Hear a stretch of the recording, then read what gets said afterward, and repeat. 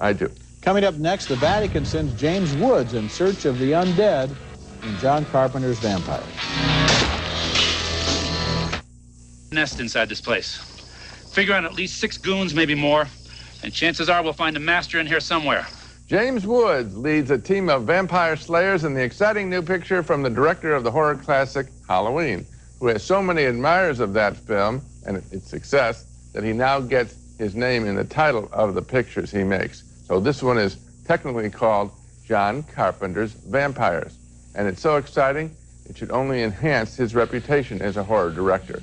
Of course, it helps to have James Woods on your team when you want to make a high energy movie as the vampire hunter faces off against a vampire master, the evil Valek, who controls a nest of bloodsuckers. For 600 years, I fed on your kind at will. The story is actually a good one. Both Valek and the James Wood character are trying to get their hands on a wooden cross used in an uncompleted ceremony that could give vampires the ability to remain powerful even in the sunlight of daytime. See the spiral pattern? Yeah. If you time sequence all the encounters, you get a logarithmic pattern, ever widening. It's a search pattern, Padre. They're looking for something. You know what it is? I heard stories when I was young.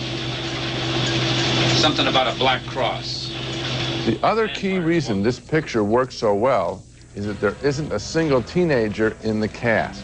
It's not juvenile in any way. All of the vampires and their hunters are portrayed by adult actors who play the situation seriously. So, no haunted high schools, no giggling, no drinking beer in the cars, no skinny dipping in the local lake.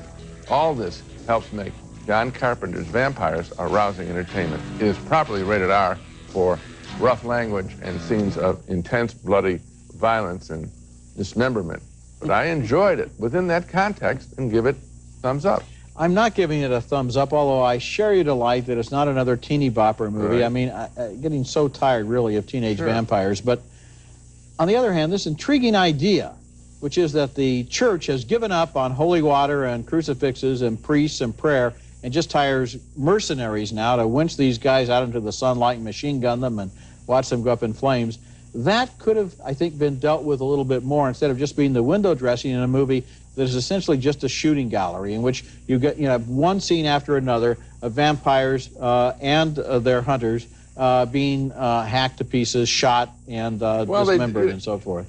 In interesting ways. For example, we haven't seen self-immolation uh, lately. I don't think this year, have we? I When they get out in the is this daylight. a job for adults? I Two of know, us deciding how long has it been since we've seen self-immolation in the movies? Uh, uh, you know, they all look like they have Roman candles in their pockets. somebody did a little research, I guess, and they found some new gimmicks, and, and it works. Plus, you've got James Woods spouting off. Well- he jacks up this picture so that it never lags. I'm not giving a thumbs up. I'll concede that it could be considered in some circles as a guilty pleasure.